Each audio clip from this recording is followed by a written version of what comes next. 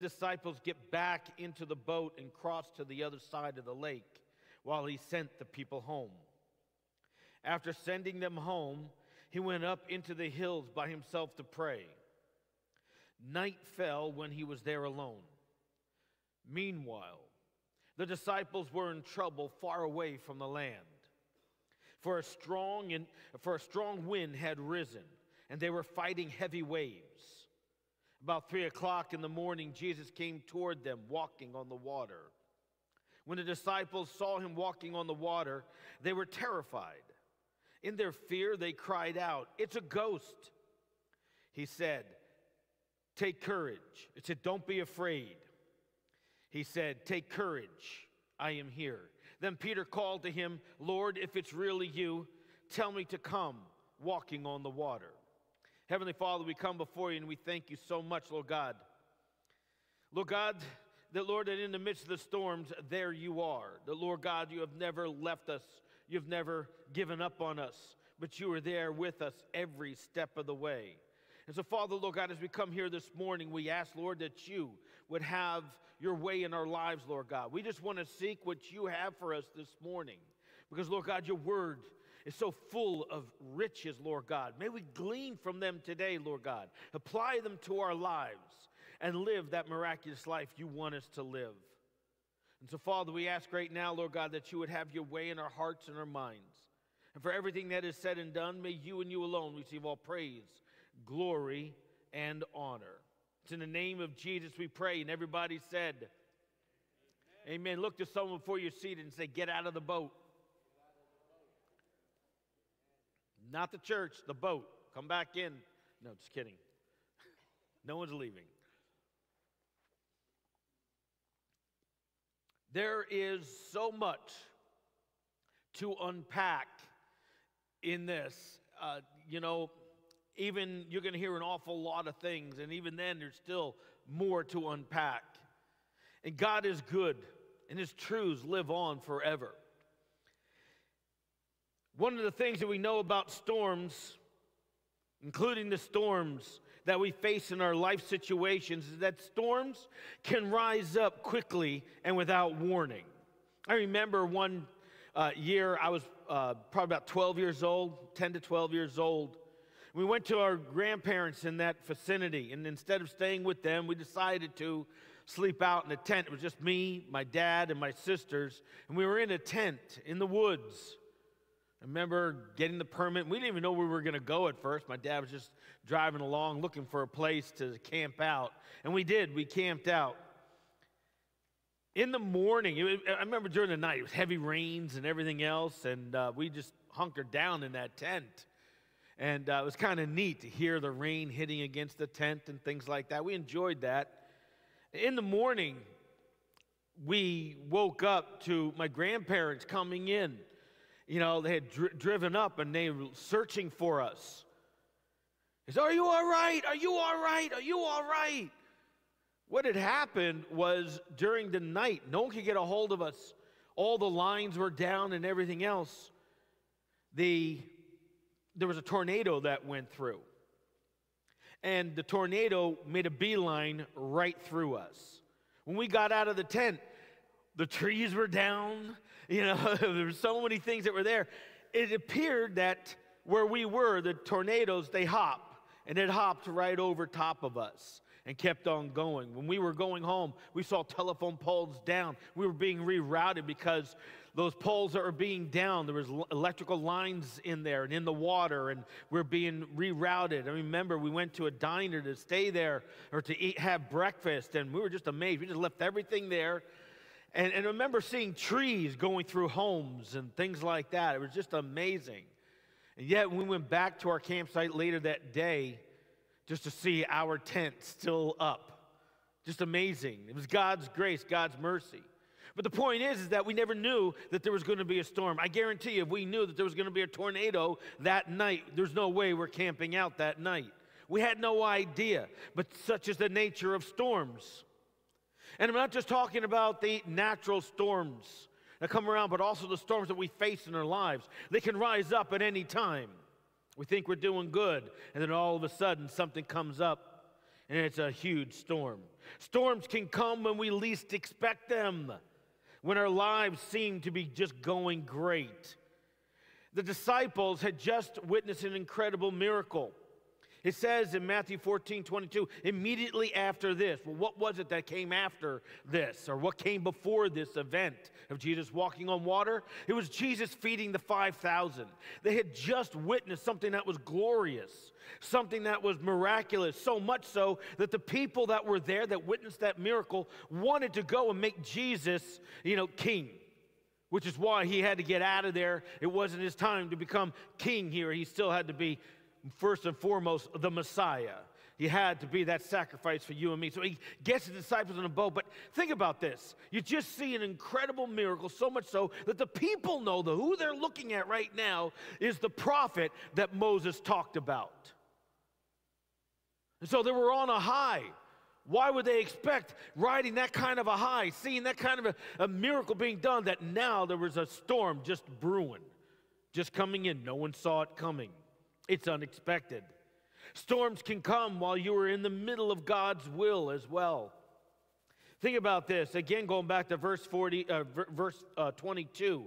It says that, it, you know, if you think about it, it was, it says immediately after this, Jesus insisted his disciples get back into the boat, you know, and go to the other side. In Mark's account, you know, it even says that it was immediately insisted. Jesus immediately and insisted that his disciples get in the boat and leave him. Probably the insistence that they probably didn't want to leave Jesus there, but Jesus wanted to stay.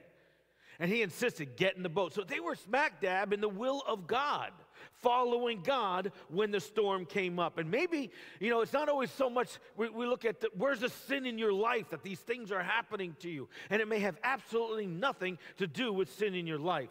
Storms come and go storms can take advantage. It doesn't really matter. It's interesting, if the disciples had just stayed on, on land through the night, disciples wouldn't have had to face that storm. And yet Jesus says, Go, get in that boat and go to the other side. Some storms are so severe, let me tell you, all your might, all your strength, all your wisdom, all your money and all your life experiences can save you from some of these mighty storms. Think about it.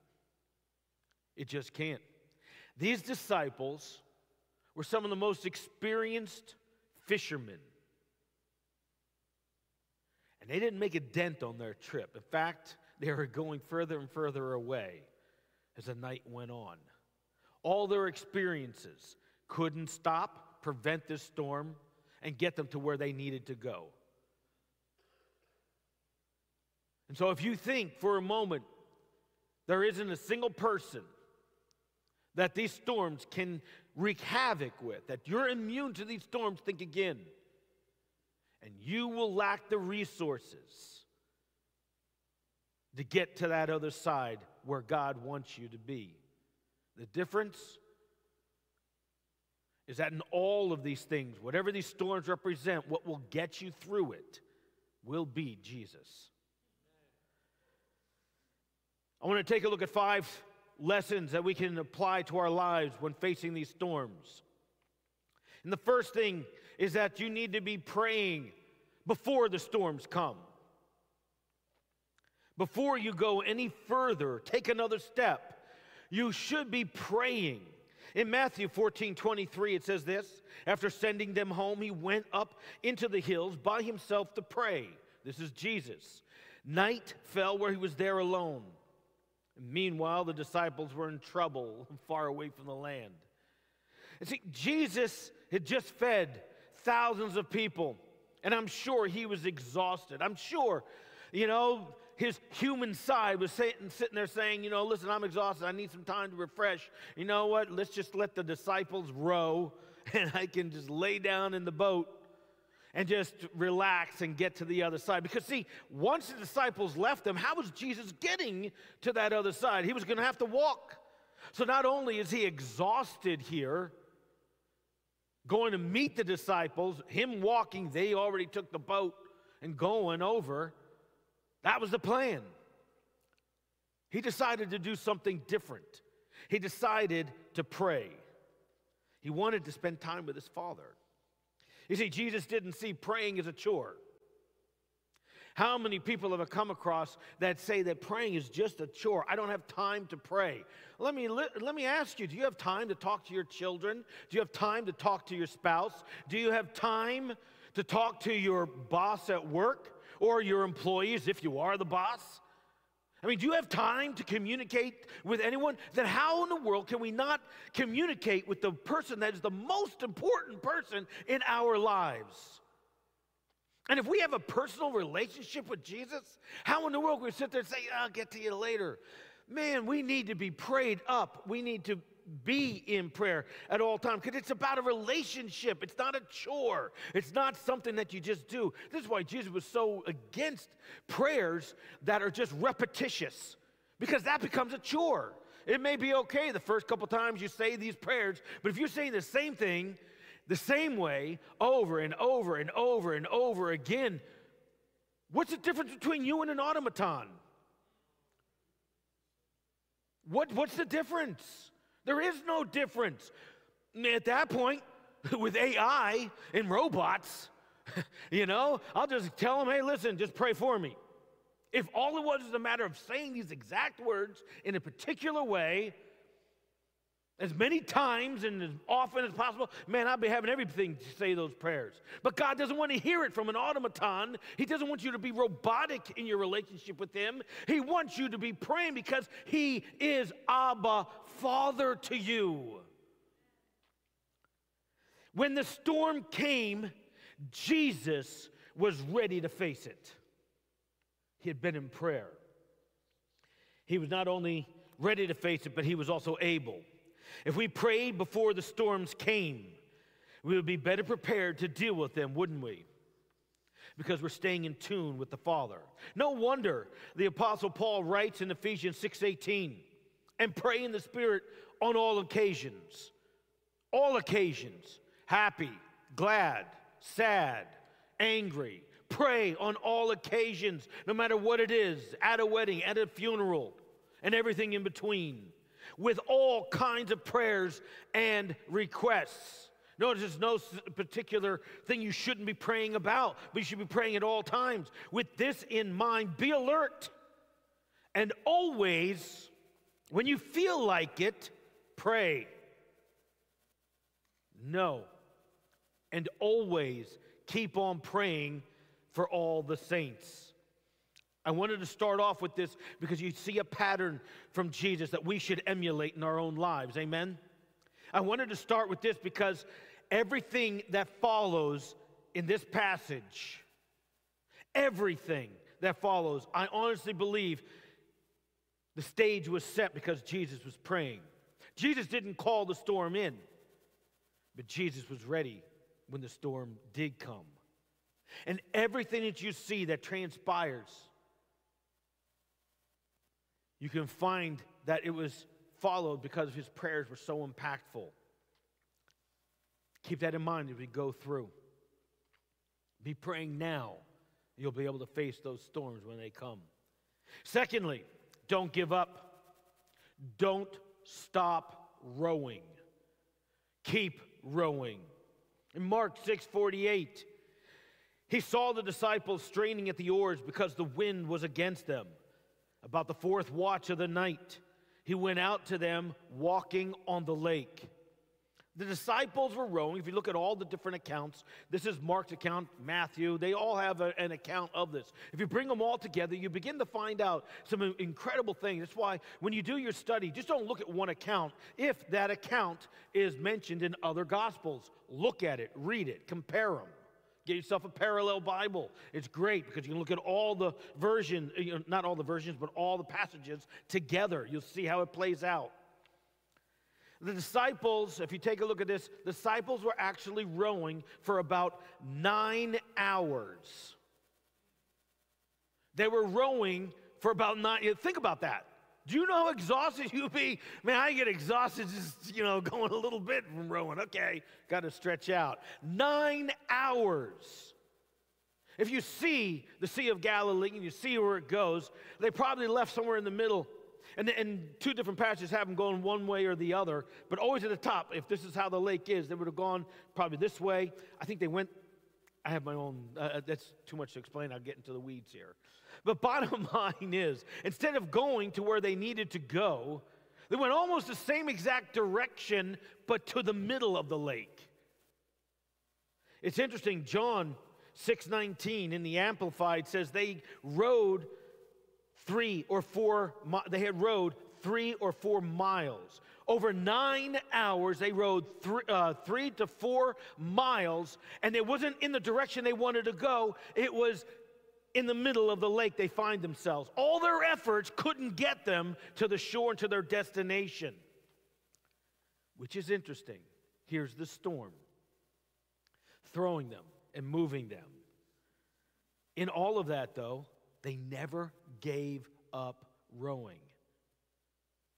Their lives depended on it, and they knew that. So they kept rowing and rowing. And Jesus was about to show them something different.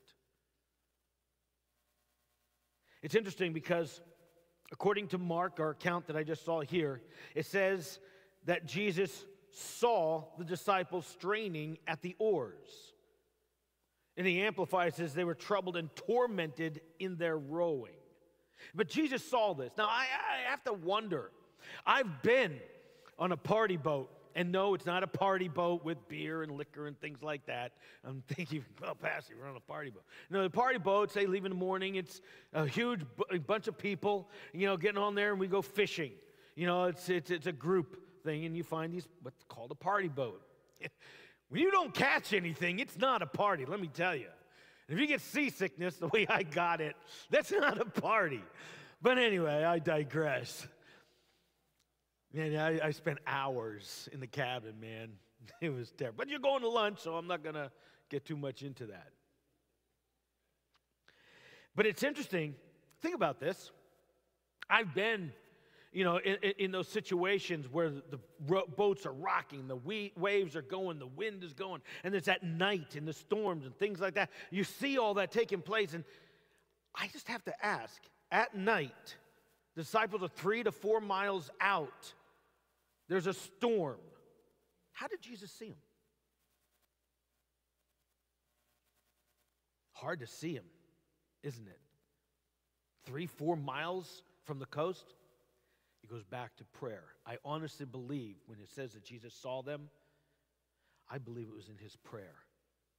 I believe probably what stopped him from praying was to go out there Say, listen, because not only did you have to be able to, you have to know where they are. They're three to four miles out. You have to know where to look. And he goes right to them. Jesus' prayer life, being led by the Holy Spirit, he probably saw it in a vision. He had clarity. This is why we need to be praying and caught up in all of that. 1 Peter 3:12 says this, for the eyes of the Lord are on the righteous, and his ears are attentive to their prayer. You may think that God doesn't see you in the troubles and the storms that you're in. But let me tell you, this verse right here for the eyes of the Lord are what? On the righteous. God's eyes are on you this morning. He sees the situations you may be going through. And it may seem like you're drowning in the storms of life. Let me tell you, He sees you and He cares for you. I am sure that Satan saw this as an opportunity, probably saw the disciples separated from Jesus, and probably saw that this was an opportunity. Now that they're by themselves, alone, away from Jesus, I can get them. And what are you going to do then, Jesus? God loves you, He won't let you drown. He will be with you every step of the way. Isaiah 43 2 says it this way When you pass through the waters, I will be with you. When you are in your boat and the storms are going crazy, God says, I will be with you. You have to believe that. He'll be with you every step of the way. He says, And when you pass through the rivers, they will not sweep over you. No matter how high those waves are coming, disciples, Jesus is on his way. Jesus will meet you in that storm. And when you walk through the fire, you will not be burned. The flames will not set you ablaze. Jesus shows up in the storm, amen? He will show up in that storm every single time. He will be with you, He will never leave you nor forsake you. And I love that last part of that verse when you walk through the fire. Doesn't that remind you of Shadrach, Meshach, and Abednego? There they were in the fiery furnace. And who shows up in there with them? It was Jesus. The fourth man looked like the Son of God. He was there with them in the fire. He is there with the disciples in the storm. And He will be with you every step of the way. Amen? Amen. God is good. Even though the disciples had rowed for as much as nine hours, and they were not able to get anywhere they wanted, yet they never gave up. We know the verse that says, Nothing is impossible for God. And this is true. But when you're in the storms, and if you are tempted to give up, and you do give up, if you walk away, don't we take the God option off the table? If we just give up on things and walk away from those situations, God may want you in. See, God put the disciples into that storm. You don't think that God didn't know that the storm was coming? He knew. He knew full well. He could have said, Hey, Jesus, don't send them. But he doesn't. He lets them go. Jesus didn't get a check in his spirit, didn't say, Hey, listen, you better not do this you know, whoa, be careful. No, Jesus, first of all, he knew who he was fully God, fully man. But he knew exactly what, if anything was going to happen, he was also limited because of his man, being fully man. He allowed himself to be limited while he walked on this earth, and yet he did not fear.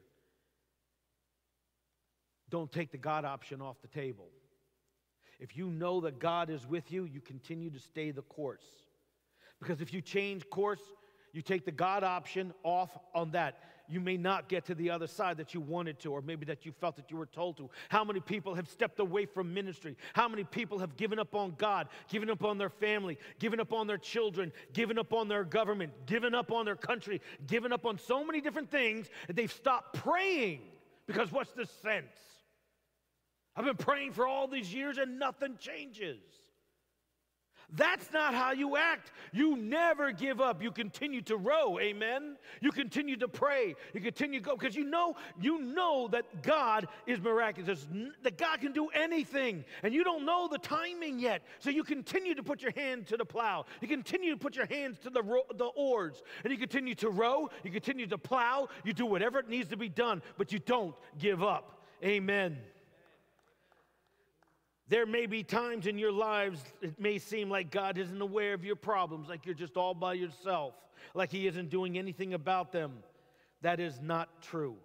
That's what the enemy wants you to believe. He wants and loves to separate you from your Father. That's what He wants to do. Because He knows if I can separate you from your Father, I got you. But if you read Romans 8, 38 and 39 and following. Nothing can separate you from the love of God, neither height, nor depth, nor angels, nor demons. Nothing can separate you from the love of God. See, that's how, even though you don't go by feelings, feelings will betray you every time. It may feel like you're alone, but if you were able to see you know, the next realm, if you were able to see the heavenlies and God opened your eyes to the spiritual realm, I wonder what you would see. You would see you were never alone. Not one single time did God ever leave you alone. Isaiah 30, 18 says, Yet the Lord longs to be gracious to you. He rises to show you compassion. Isn't that interesting? God rises to show you compassion. For the Lord is a God of justice. Blessed are all who wait for Him. I talked a lot about being patient just a couple of weeks ago. I encourage you to listen to that because you see, almost everything, the miracles is, you know, when you see a miracle take place, it's also about waiting. You see miracles take place, it's also about doing the same thing, continuing to, to stay the course, not just going off and doing your own thing. And remember this the more the waves begin to, and the wind begins to take you off course. If it's the winds, not you. and pull you into deeper and deeper waters because that's what it would be like. The further you go out into the middle of the lake, the deeper the waters they are. Then greater the miracle. Because if we know that God will show up, watch the miracle that will take place. But if you give up, you'll miss that. Do not give up. You think about this Jesus didn't need to walk on water if the boat never left the shore. Jesus would never have, never have left and walked on water if the disciples weren't in trouble. There was no need. Why would he just walk in the middle of a storm just for the sake of walking in the middle of a storm? No, he cares about his own. They were in trouble. And so he walks on water because there was a storm. They were not safe. And he goes to them because he cares for you. How much does God care for you? Oh man, he cares for you a whole lot. He won't leave you an orphan. Amen? He will be with you every step of the way. Three, don't let fear get the best of you. Do not let fear get the best of you. Going again to Mark's account in Mark 6:50. They all saw him and were afraid and were terrified. Immediately, he spoke to them and said, Take courage, it is I. Don't be afraid. When they saw Jesus, they thought they saw a ghost. it was unexpected. I mean, who would have thought, right? You're rowing for nine hours. You probably thought their eyes were, you know, seeing things. And then as it got closer, they're probably saying, that is a ghost. I mean, they couldn't even make it out the closer he got. How was Jesus going to be able to make it out who they were? Unless he had spiritual sight. Goes back to the prayer. I just got to keep pointing that out. You pray now, it'll sustain you through. God will not. Just don't pray in the middle of the storm. You should be doing that too. But man, be prepared for anything that happens because you don't know when it may come. I'll harp on that a little bit. Their fear prevented them from seeing Jesus. This is one of the major problems with fear. Fear blows things out of proportion, always. Always. One of the things I put in my head all the time that the situations when things come, and let me tell you, there, we find ourselves in, under huge attacks. And one of the things I always have to tell myself it's never as bad as it seems, and it's never as good as I may think it is. You just have to always keep yourself balanced to be prepared for anything. But fear blows things out of proportion. Fear prevents you from properly discerning the situation. Disciples didn't discern what was going on, they couldn't because they were too afraid. And fear causes us to see things that aren't real. They couldn't discern that it was Jesus, they thought it was a ghost. They weren't able to see properly because they were blinded by their fear. And it was totally blown out of proportion. And Jesus, interestingly, doesn't sit there and rebuke them. Oh, he will later on. And he'll even do it directly to Peter. But at this particular point, he doesn't rebuke them. What he does instead, he encourages them. Maybe because if they continued in this fear, they wouldn't even let Jesus on the boat. no, get away from us. You're not coming on here, you ghost. You're not going to take us, you ghost. You know, he had to do something because they weren't going to let him on. Interesting. But look how Jesus encourages them. He says three different things which you can take encouragement for even now. He says, take courage. Take courage. In other words, get rid of that spirit of fear. Don't allow that because it's going to skew everything you see. It'll skew the, you know, the spiritual realm. It'll skew how you think about God. It'll warp your doctrine. Get rid of it. Get rid of that spirit of fear. Take courage. And he says something that's quite remarkable. He says, Take courage, it is I. In the Greek, it literally is ego eimi. If you know what ego eimi is, it is literally I am. Jesus sitting there saying, Take courage, I am.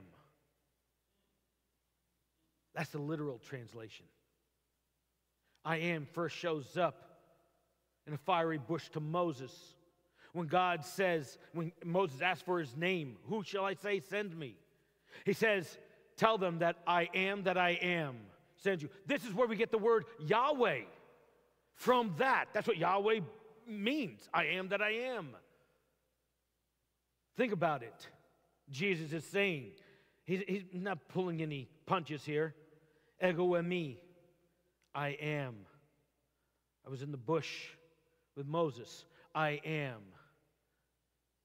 He's letting them know a little bit about him. What he's telling them, he even says before Abraham, I am. Ego eimi. It's remembering who he is, his character. Remember who he is. In the midst of everything going through, just remember the God you serve. He's a God yesterday, today, and forever. He sees everything. He can make anything happen, and He's got your back. Remember the character of God. I am. He said, then he says, Don't be afraid. Take courage, but then don't be afraid. Understand who He is. Don't be afraid because you can't operate in faith if fear is present. You have to understand Jesus, Yeshua, operates outside of the storm. Amen. The winds can't knock him over. The storm, you know, the waters can't drown him. He operates outside of the storms and he will take you with him. Amen. God is so good. Four, trust God to see you safely out of the storm.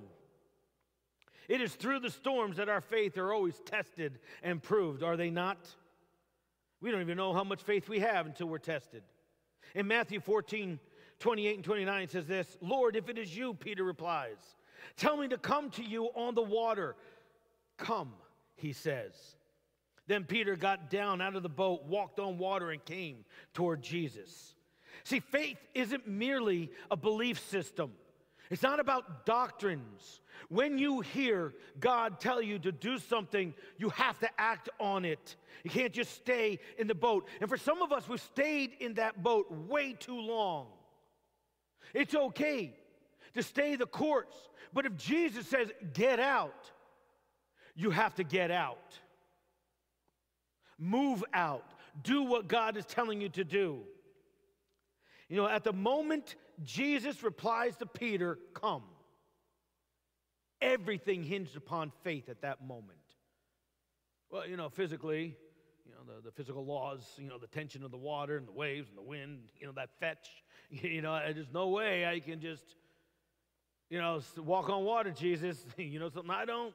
No, he didn't sit there and reason it. He didn't sit there and try to let, no, he said, Can I come? He had a green light from God. Come. Faith is acting on the word of God, regardless of what it is one word, two words sentences, a dream, a vision, you know it's of, of God, you need to move out because you know it's God. All Peter had to go on was one word come. And he got out of the boat. it's interesting we think about this. Peter was the only one to walk on water. Peter was the only one to even ask Jesus if he can come out there with him. I wonder what everyone else was thinking. You know, you would think that after they saw him get out, oh, you know what, I'm going to. Can we come? No one even asked. No one said a word. They just watched Peter. All right, your funeral. We'll pick you up and bring you in the land. Hey, you know. We have a life preserver. We'll throw it out to you. A lifeline. He doesn't take a lifeline, he doesn't take anything that tied him to that boat. Jesus had a new direction for him. Jesus had something else going on in his life. What got Peter out of the boat was his faith in Jesus, nothing else. And that will get you out of the boat as well. Is it time to get out of the boat? You've been sailing for so long. Jesus says in John 14, 1, Do not let your hearts be troubled. Regardless of any storm that may come, do not let your hearts be troubled. Trust in God, trust also in me. That's exactly what Peter did that day. He trusted God and jumped out of that boat. Hey, you got to remember, Peter didn't have to get out of the boat. It would have been easier to ride the storm. At least in most of our mindsets, we would be thinking, hey, listen, isn't it just easier to ride out the storm in the boat? He forgot the storm. He forgot everything else because his eyes was on Jesus. But staying in the boat, think about this. Staying in the boat, when God says to come out of the boat, staying in the boat means you're going to go wherever that boat goes. Because boats are confining.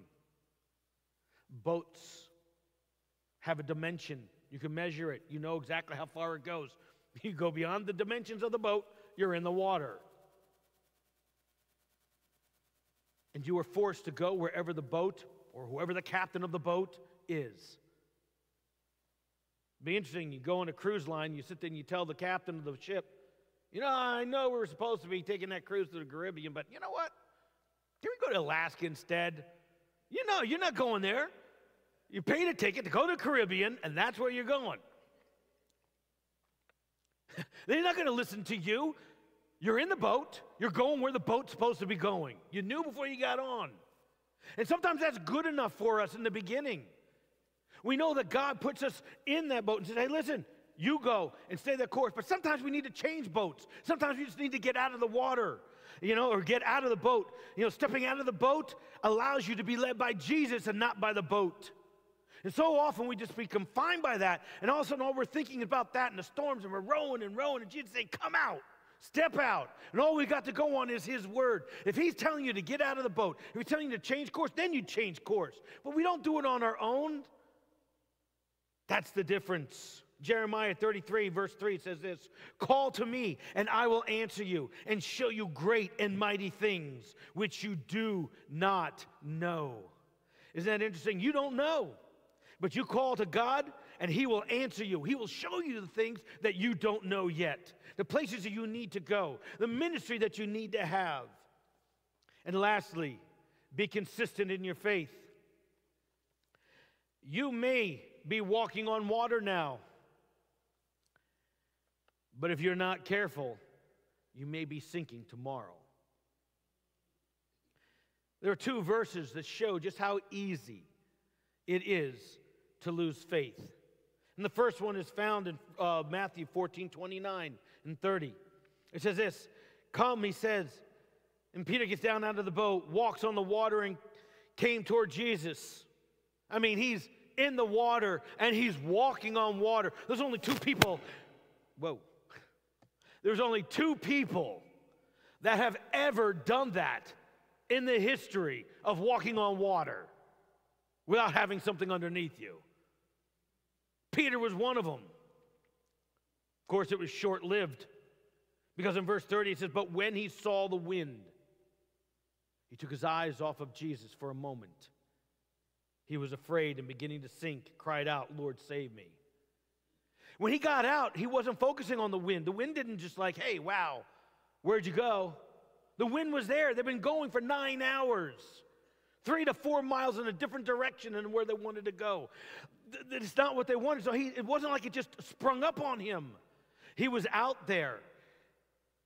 And when the wind was coming,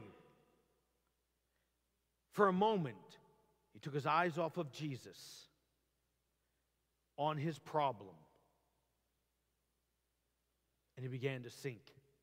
You continue to focus on your problems and your problems alone, I guarantee you, you're going to sink. If you look at your own finances and see how in the world you're going to pay your mortgage, you're going to sink. Not saying that you shouldn't be working. That's not what I'm saying. Because if you can work and you're not working and you've been turning down jobs thinking that God's going to supply my mortgage, I got it, you're going to be on the street soon. That's testing God. That's not doing everything you're supposed to be doing. Remember, we're still under that very original curse that we will work by the sweat of our brow. Can't get around that. We've been doing everything in our power to get away from that, right? Get robots to do the work for us. you sweat. Anyway, he became afraid. Fear was gone when he got out of the boat because he was, his eyes were fixed on Jesus. There was no fear. It was when he took it off. Fear comes in and robs you of your faith because you can't be walking on water and be fearful. You can't be full of faith and full of fear. It is impossible. It's impossible. He was afraid when they first saw Jesus.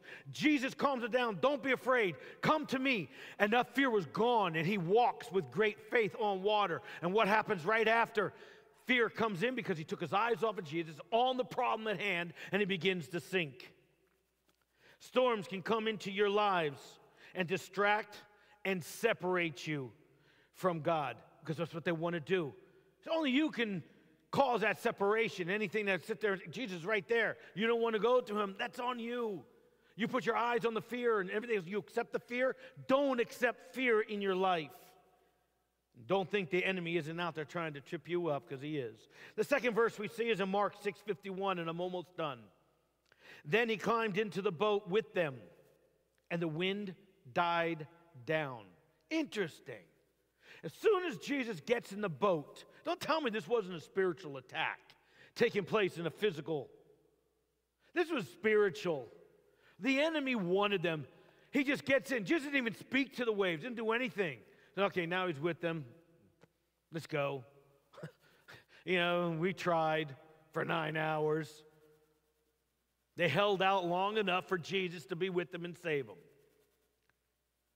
That's okay, isn't it? They were completely amazed.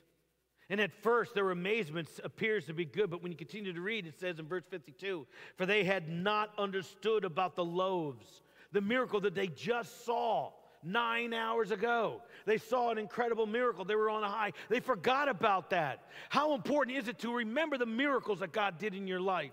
From the moment you got saved, and maybe even before you got saved, that led you to the Lord. Never forget the goodness of God in your life. Never forget what He has done in your life. If He did it then, He's going to continue to do it every step of the way. He loves you. And we remember that. We build our faith upon what God has been doing, upon the Word of God. And we don't, we hold on to those. Those are rare gems that we hold on to. We should go back to them in our journals and say, wow, I remember, devil, you're a liar. I remember how God saved me then. I remember how He saved my marriage. I remember how He saved my children. I remember how He saved my job. I remember in the midst of all those storms, He was there with me. He never let me go. Devil, you're a liar. You don't allow that to come in. The root cause of their amazement was due to a hard heart. The Bible says it. He says, For they had not understood about the loaves, their hearts were hardened. Interesting.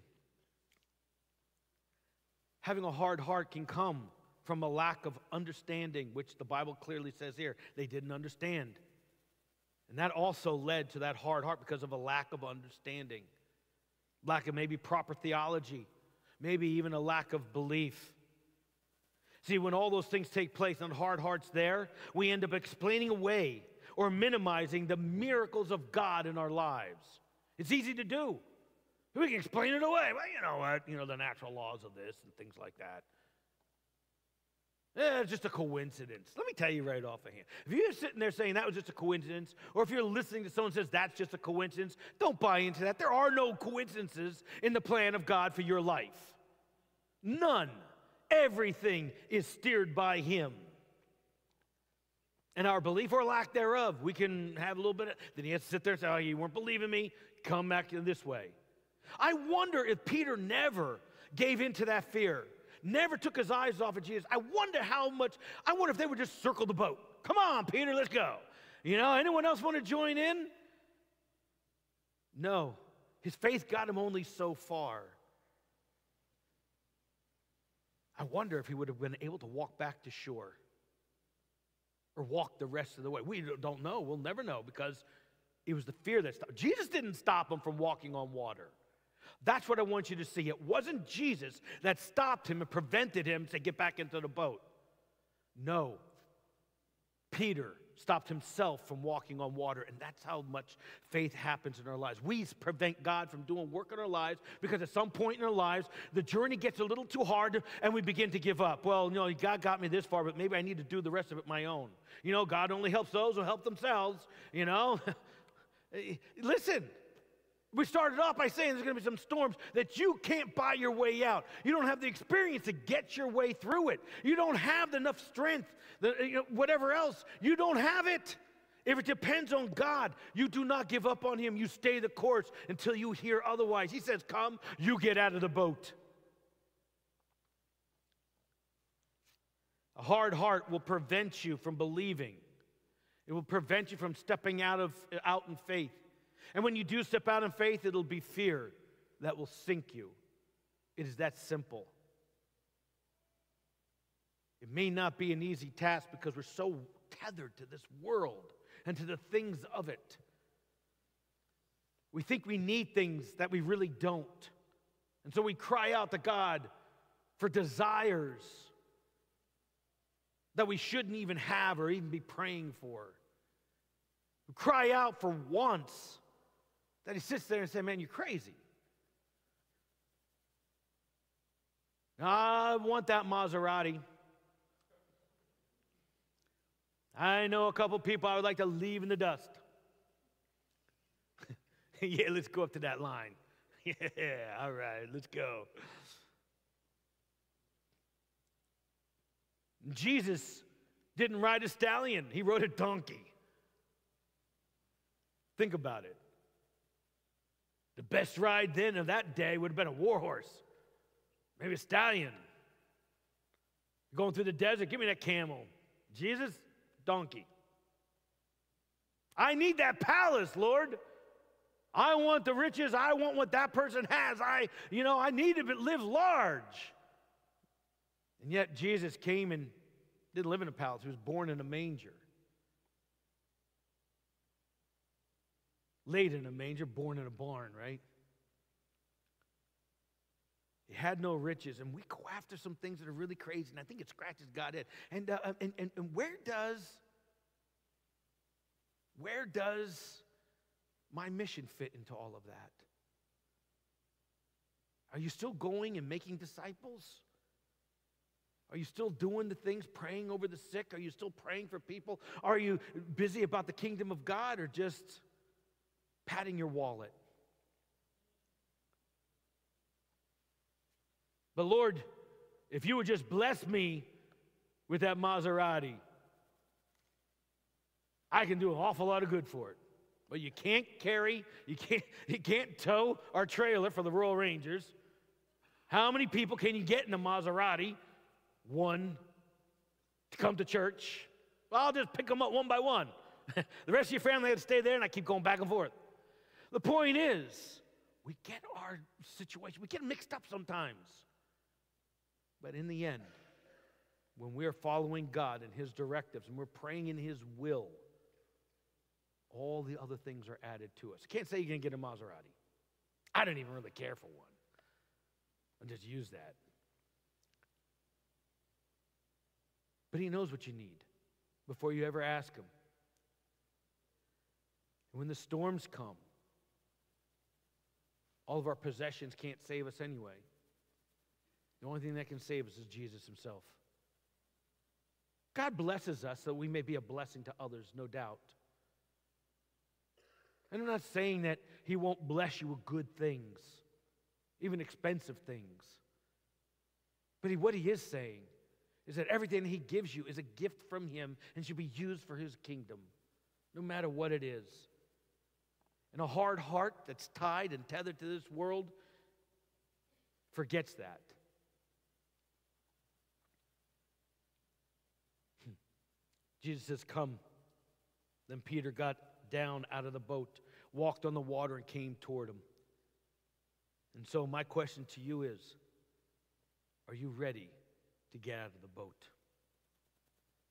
Do you have that kind of faith that says, Hey, listen, I know God is calling me. I am ready to step out of that boat, to go to the next chapter, what God has in my life.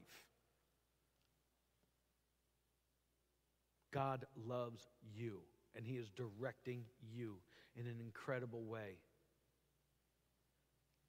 We all know and sense things are different in America than pre COVID. Things have changed dramatically. And if it's just the end of America, or if it leads to Jesus' soon return, regardless of where it may take us, we're going to have to be people that are willing to get out of the boat when Jesus has come. We're going to have, if we're going to make a difference, we need to be open to what God has in our lives. Be obedient. If He says to get in the boat, you get in the boat. He says get out of the boat, you get out of the boat. I'd rather live my life being led by Jesus than being led by a boat. Step out of that, come out of it, whatever it may be, and watch how big your God is. He will be with you every step of the way. He'll show up in those storms. Trust Him. Let's pray.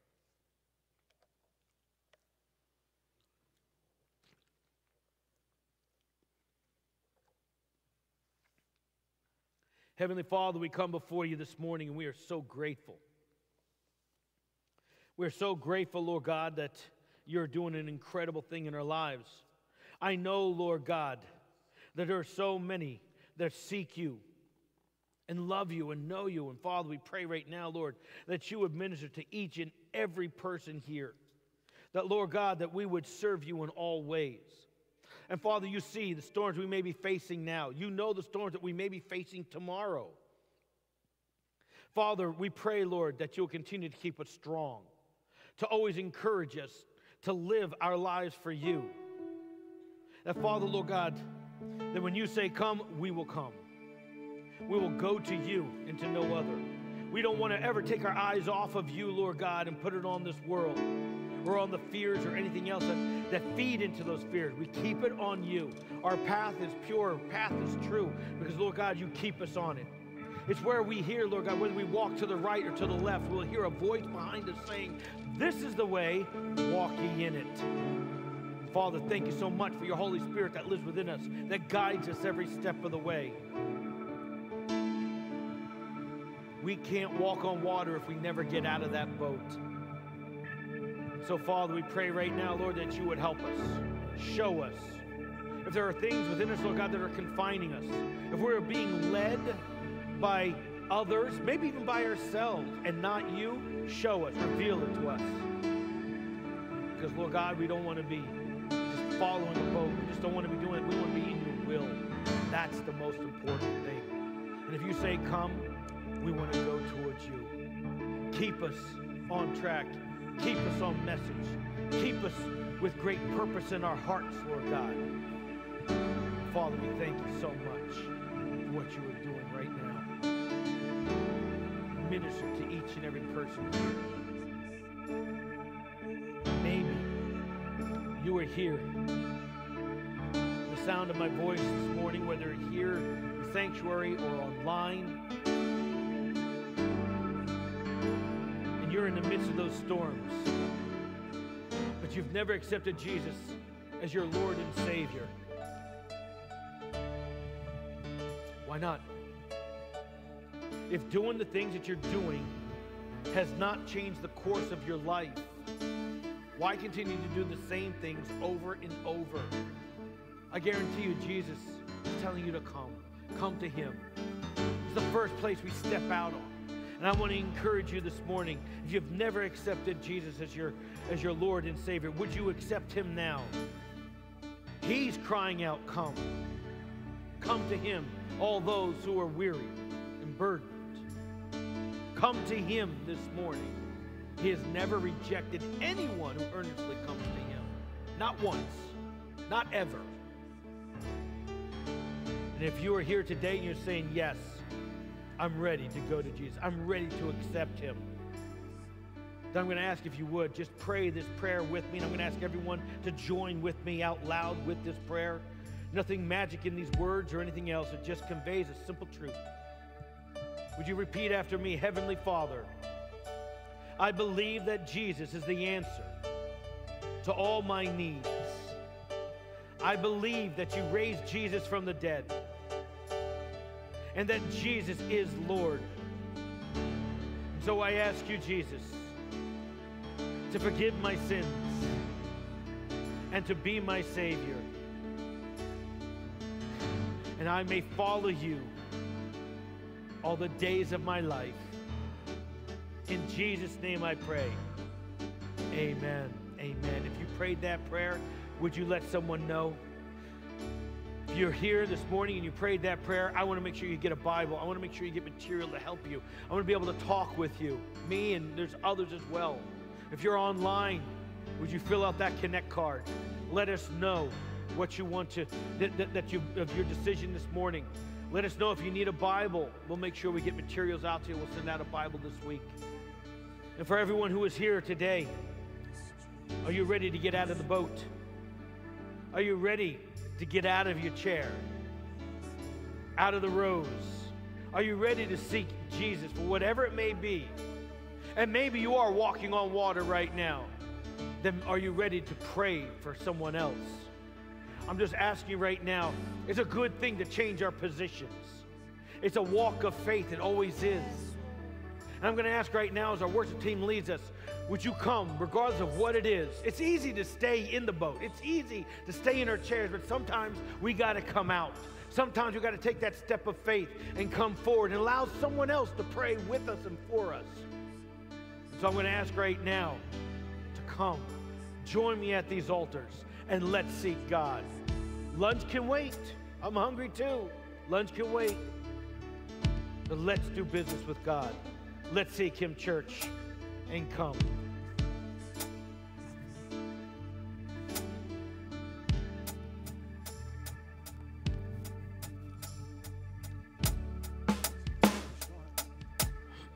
Blessed assurance.